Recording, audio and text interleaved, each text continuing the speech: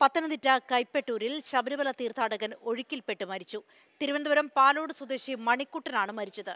അഞ്ചു പേരടങ്ങുന്ന അയ്യപ്പ ഭക്തരാണ് കൈപ്പറ്റൂർ പാലത്തിന് സമീപം കുളിക്കാനിറങ്ങിയത് ഇതിനിടെ മണിക്കുട്ടൻ ഒഴുക്കിൽപ്പെടുകയായിരുന്നു. ശബരിമല തീർത്ഥാടകർ സഞ്ചരിച്ചിരുന്ന കാർ നിയന്ത്രണം വിട്ട് മരത്തിലിടിച്ച് കത്തി. പ്ലാപ്പള്ളിയിൽ പുലർച്ചെ നാലു മണിക്കായിരുന്നു അപകടം. പരിക്കേറ്റ നാലുപേരെയും പത്തനംതിട്ട ജനറൽ ആശുപത്രിയിൽ പ്രവേശിപ്പിച്ചു. ദർശനം കഴിഞ്ഞ് മടങ്ങിയ ആന്ധ്ര സ്വദേശികൾ സഞ്ചരിച്ചിരുന്ന കാറാണ് അപകടത്തിൽപ്പെട്ടത്. ആരുടെയും പരുക്കുകൾ സാരമുള്ളതല്ല.